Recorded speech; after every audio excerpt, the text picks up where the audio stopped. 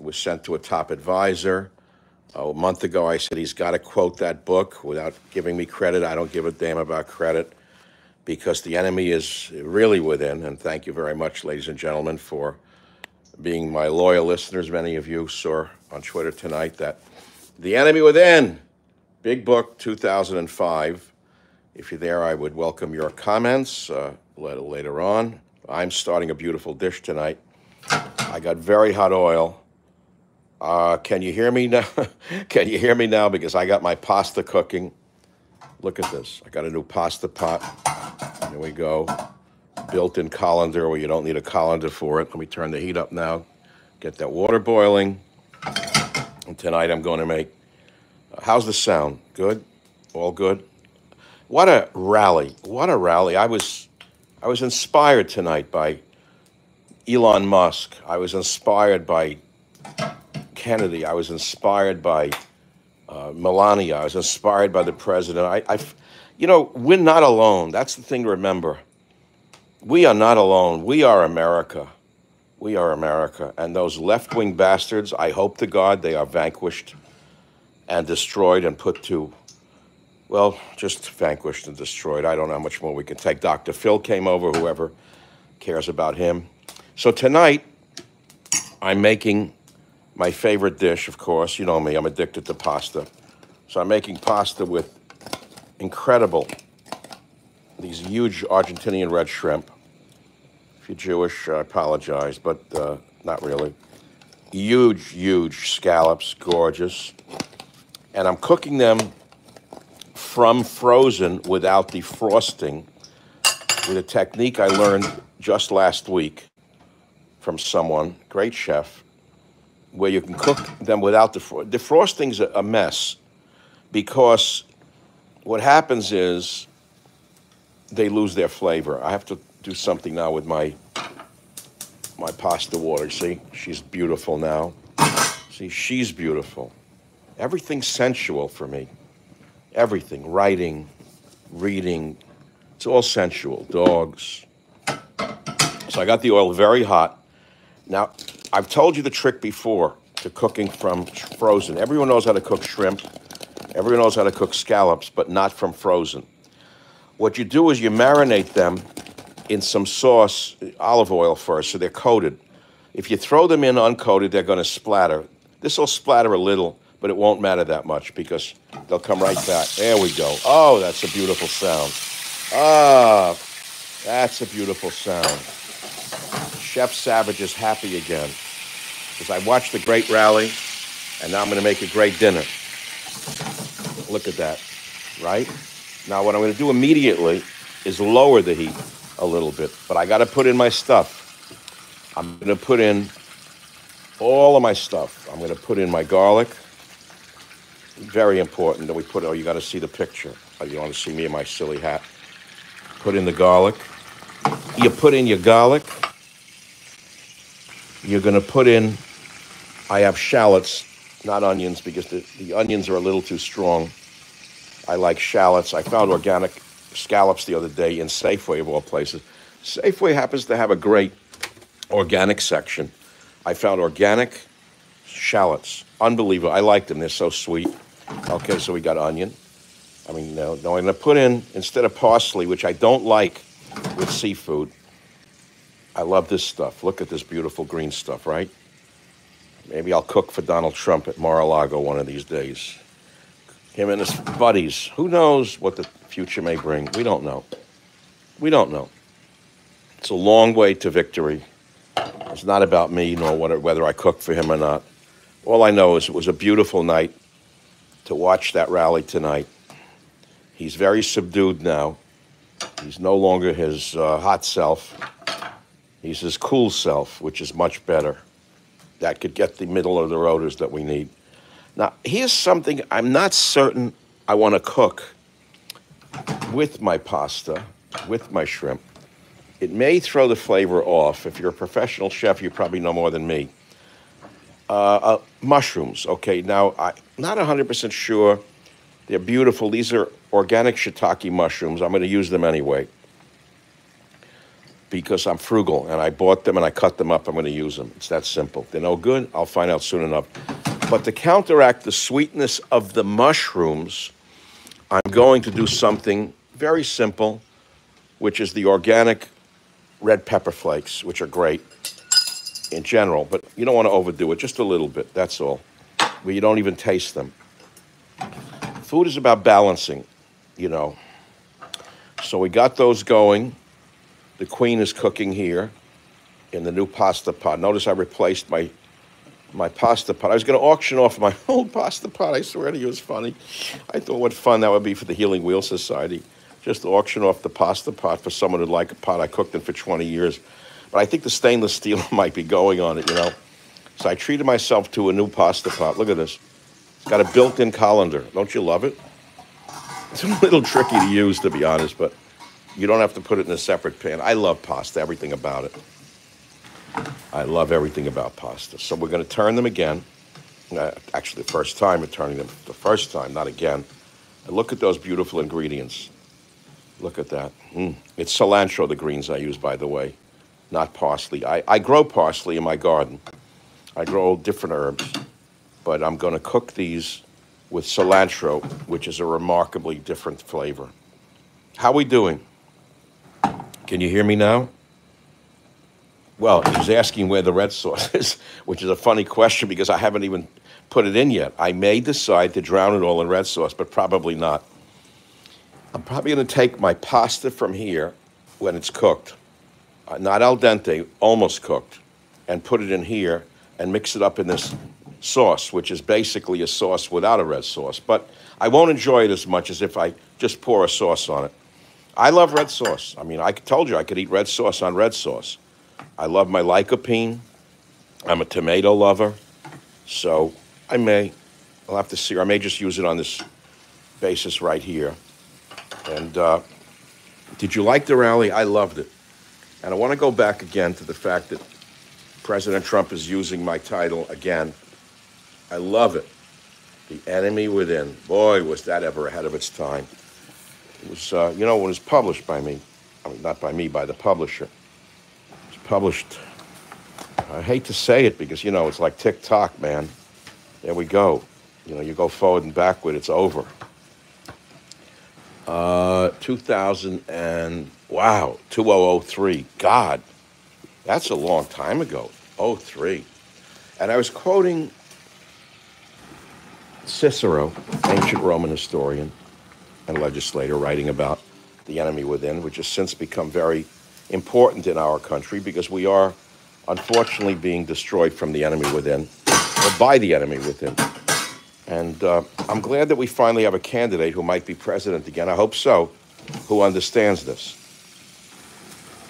And I don't need the, I don't need him to say, and Michael Savage, you wrote it in 03. That's fine. You know it. Those of you who bought it. I've been around a long time. You know, it's good. It's nice. We'll see if he wins again, what happens. A long way to victory, a long, long way, man. There's going to be some battles ahead. And God forbid he should lose and we get this fraud, this creation of the swamp, this invention who destroyed everything she touched. You know, I had sent them, I have a contact within the campaign. About two weeks ago, I said, he's got to tell everyone what she has done in her lifetime. Forget as vice president when she was DA, that's when homelessness exploded in San Francisco. I don't care if you're a liberal, you know it's true. She turned on the police and told them to keep hands off the filthy scumbags in the streets. That is when homelessness took off in the city. It's when she was DA. And then a man was killed in front of his wife with his two sons by an MS 13 member. The mother was crying. Italian man went into the wrong neighborhood, he was uh, the husband was shot in front of her eyes and her two sons. One son survived and she survived. And uh, the widow begged Kamala to give this piece of shit the death penalty. Pardon me. And Kamala refused. She was already bending the knee to those who put her in power. And then an officer, a few years later, was killed, shot down, killed Officer Espinoza, Hispanic man, by a gang member. The widow cried and begged Kamala to impose the death penalty. She would not do it. She's a terrible human being. But she was rewarded for being a terrible DA by being injected into the U.S. Senate while she was AG for eight years, excuse me, Attorney General, where she knows she did not take on transnational gangs. She inf- inflicted transnational gangs upon the state of California. Two. Then she was U.S. Senator, where she did more damage. So she has a track record. It's not good, it's very bad. And Trump really has not emphasized that enough. I'll have to emphasize that to him in the coming few days. He should tell people what she's actually done. I see these Walz Harris signs all over with these Halloween schmucks. And I feel like shaking these neighbors and saying, hey, moron, when Trump was president, there was no war, there was no inflation, there was less crime. You can't talk to them. They're like brainwashed friggin' zombies. Well, let me just say this to you. This shrimp, you see it in the pan here? See my beautiful shrimp here, my scallops? This shrimp has more integrity than Kamala Harris. This scallop has more integrity than Joe Biden and the entire Democrat Party, especially the way I cook them. That's why I cook, because I see reality. I ask people, why do you like to watch me cook? I have a few people I speak with, some friends. I said, they love watching me cook. And I said, why do you like watching me cook? They said, I don't know. I know why. It's like having a relative that no longer existed, exists. A guy who gets up there, you know, cooks, talks, lays it on the line while cooking, like a relative that we don't have anymore, like the uncle we don't have, like the father that's dead. You know what I'm saying? So that's my role right now. For however long God gives me breath, I will do this. I will do this. I'm going to use, I'm going to just taste it before I decide whether to drown it in red sauce. Taste it with me. I, well, you should see me tasting without burning my, my mouth. Wait, you got to see the chef taste it. The sono bono thing. Okay, I'm to taste it without burning my mouth.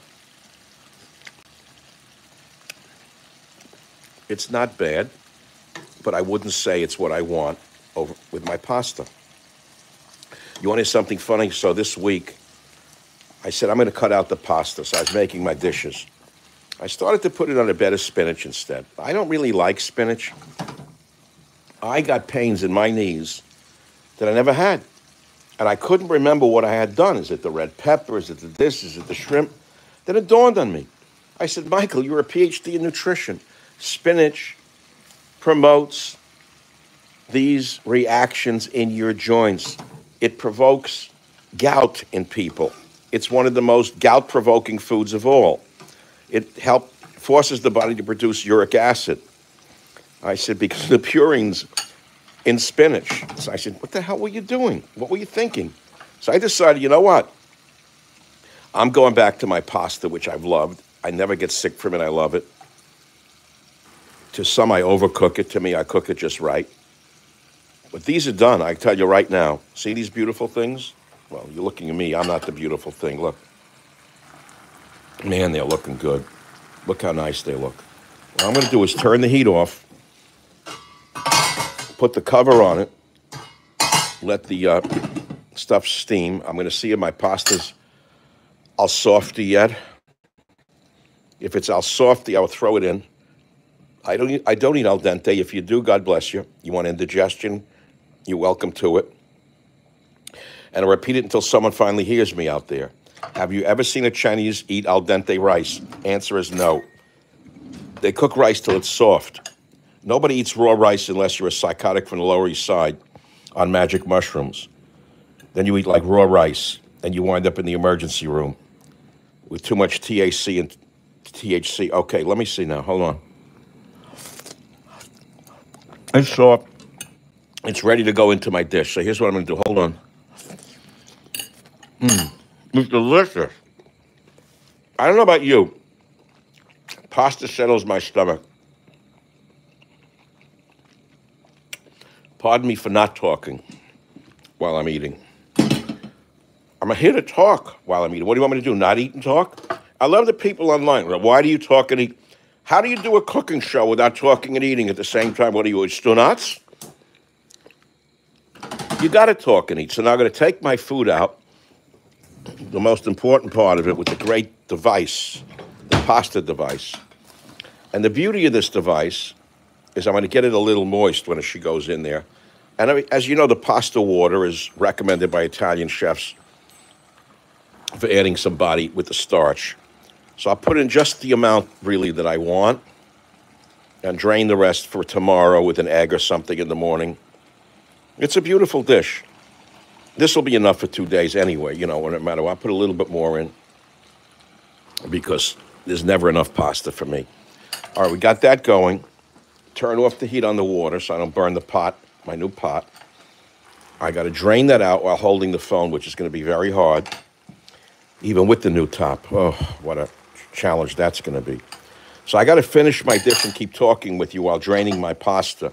If it was a professional cooking show, I'd just leave it in the water and an assistant would drain it. Uh, let me figure out how to do this without burning myself. And okay, we'll do that. I could do one-handed things. Very interesting. See, it's ready to go. Now I got to pick up the pot with two hands, and I have one hand on the phone. Oh, this this is going to be a rough. This will be a rough passage now. This is, a, this is not good. This is asking for real trouble. So if you don't mind, here's what I'm going to do. I'm putting my phone here. Back. All right. Thanks, Billy. Take a look at this. You won't believe this. My phone got muted again, and that was Billy, my producer, calling from uh, somewhere north of Illinois, where Al Capone lived, to say you muted the phone when you put it down. It happened again. We went blank. See that? I got angry for no reason. This is the problem. It's very easy to misinterpret things in the world when you lose your temper. I didn't recognize his number. Okay, well, thank God I picked up and decided to curse him out. I was wrong, that's all. Now, the only question I have is, is this. Thanks for sticking with me, guys. Uh, let me reverse this. It was fun. Look at this dish. Now, you know what you pay for this in a restaurant? You can't get it. The quality of the seafood, the quality of the pasta, the quality of the oil, the quality of everything you can't buy. It's impossible. Okay, but I don't know if I want to eat that mild sauce. I have to taste it. Mmm, not bad, but not great. No, I have to go to the red sauce. Sorry. I really want to enjoy it. There are a few things I have to do. Okay. I just simply have to get a commercial red sauce and pour it on the dish. Not ruin it. I like Rao's, even they were, I have others I use, but I like this a lot. I like when they were Rao's, now they're Carnation, whatever. Okay, beautiful. Oh, why are you using a canned sauce, a bottle sauce? I'm leaving you now. What do you expect me to do? Go out in the garden and pick tomatoes for you? You want me to like crush the grapes from the wine I drink too? What's wrong with you people? You want me to crush the grapes to make the wine? I've made my own tomato sauce when the kids were young and when they were still, you know, the Halloween age. It's a pain in the ass, truthfully. With the tomatoes from Italy and the, the, the San Marzano. I made my own sauce. There's no need to. There are commercial sauces today that are so good. An emergency like this. See, this is going to be good. I admit it. Look, I'm. A, I could call it, you know, chef cooking or this and that. I'm not a professional chef. I'm not trying to be. There are people who know a lot more than I do about cooking, and I do love watching them. I don't like a lot of their ingredients. I, I don't go for the butter, the cream, the dairy they're cooking from another era where there was no knowledge of, of health and nutrition. There's no need to cook like that. You know, I like Jacques Pepin, I'd say it's a personality. His cooking sucks. It's heart attack food. It's from the Julia Child era. Everything butter, cream. He said, I'll put in a pinch of salt. It's a half a container. No, sorry. Another time. Another time. I don't eat like that. So there's a way to cook in a modified way where you can enjoy your food and less salt, no butter, no cream, no dairy. There's no need for that. Sure, it makes the food taste good if you like that. But I don't happen to like butter, cream, and dairy on anything. If you do, God bless you, throw it on. Okay, my food is basically going to be done. I'm turning the heat off. Putting a top on it, but the most important thing is about to happen, and you know what that is. Assuming I'm still being heard. Can you hear me now again? I'm not sure. I have the cheese. I'm going to finish this bottle, pardon me. I drank a half a bottle last night. Let me tell you about my wine drinking. People ask. Okay, this is an important part of my show, which I've not done. This is a uh, pure Sauvignon Blanc. It's not my favorite, but it's pretty damn good. It's pretty cheap. It's like 18 bucks a bottle. It's as good as you're ever going to get for the money. Okay, so in 09, I had an incident. They call it an incident, known as a heart attack. You're not allowed to say heart attack. You say, oh, so what the hell do you know what you're doing? Oh, I was 78 years old at the time.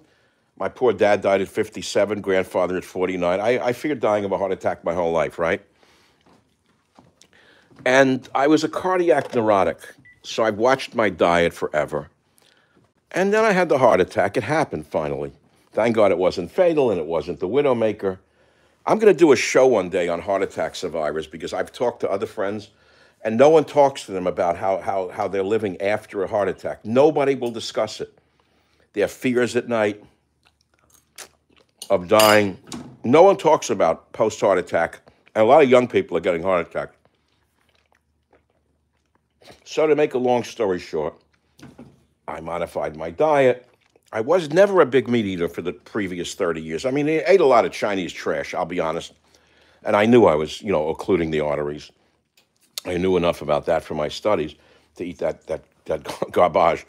But, you know, I had to fuel myself up to do my shows and to keep my energy up. And then it happened.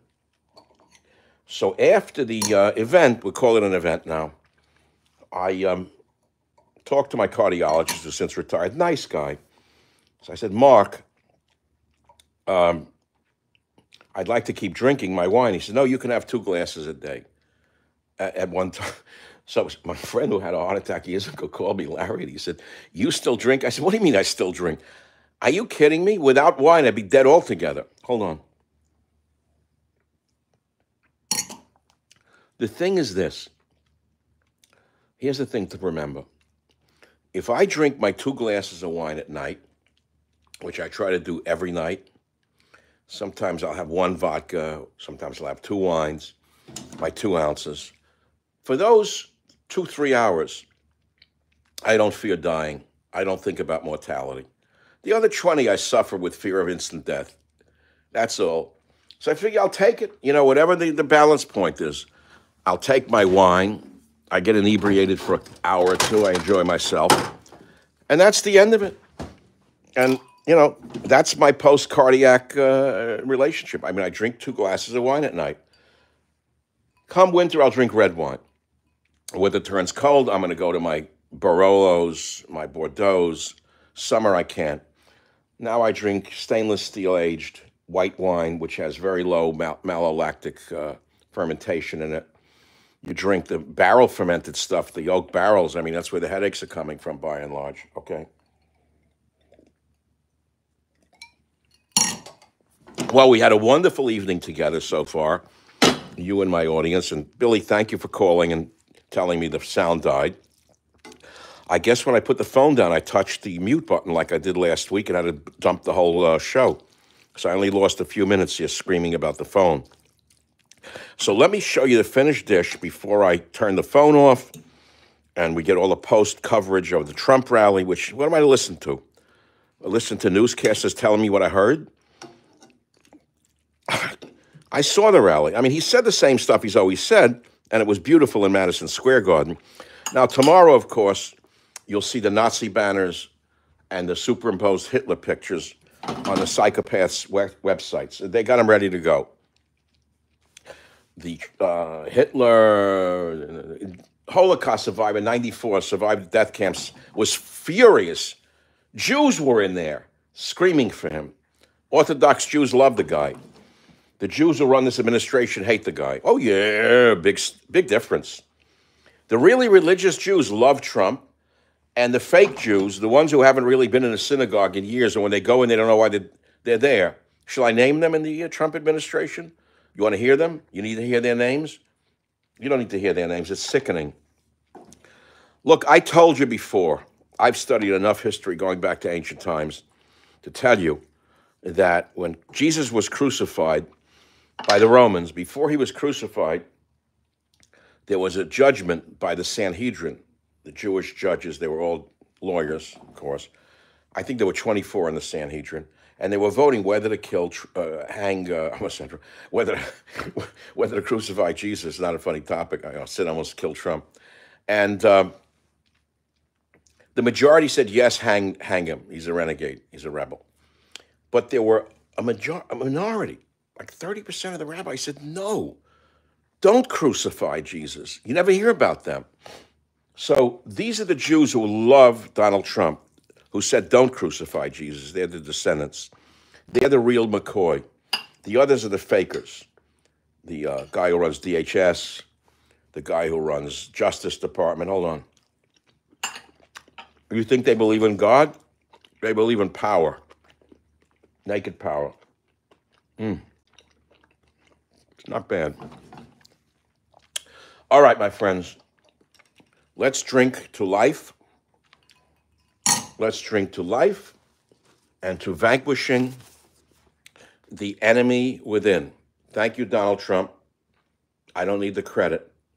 Give the credit to Cicero, where credit is due. Book was published in 2003 by yours truly. I was going to add a little red pepper to his dish. And I'll probably use some Romano cheese, which is goat cheese. It's delicious, ground up. Oh, good. I'm going to have a great meal. And I'll watch a little of the replay of the Trump rally. Watch a movie, go to sleep, God willing. And wake up to tomorrow. Mmm, got to tell you something. I mean, I began today with a great God talk called Halloween is Bigger Than Christmas. I just says I'm doing a lot of work lately. I like it. I enjoy it enormously. I love focusing on my audience. You've been so loyal to me. And one day the clock stops, kids, for all of us, you know. Nobody lives forever, so I appreciate your being here for me, and I love that you still hang in there for me. It's not an audience on the size of some. I mean, I understand that. But whatever audience I have is my lifeblood right now. Still talking with you, still reaching you. Many of you notice my voice has not changed in 30 years. It's the same voice. The day I hear that I get a little enfeebled, I'm out. I'm out. But the voice is still strong. The mind is still sharp. Uh, it's good. Life is good. Life is good. And eating well is the best. Is the best revenge. I got to tell you. You know, I'm sure if I could sit down and cook one meal for some of these left wing fanatics in the government, they'd actually change their mind and vote for Trump. Some of them would leave the administration gladly because they know who she is and who Biden is and who's behind them. All right, if you like what you see tonight, I thank you very much for listening. That's good enough for me. My podcasts are found wherever great podcasts are found. So it's not on the level of Joe Rogan, okay, but it's still considered by my ad agency in the top 10 of their 3,000 shows. Is that bad? No, it's not bad. It's very good. And my YouTube shows, let's say it's 30, 40,000 over time. So that's bad. It's not 8 million, but it's 40,000 of you. That's good. And my God talks 20,000. Is that bad? That's a stadium full of people. So if I get 20,000 people watching a YouTube video and Mr. Trump just had 20,000 in Madison, try to envision that I'm reaching about the size of the audience that Trump just had in Madison Square Garden. And that's good. And God is good. And America is great. And you are great. And thank you very much for sharing this with 10 friends. And now I will say, look what you're missing. That's for me, and it's nice. Billy, I'd give it to you if I could, but you're in Pennsylvania.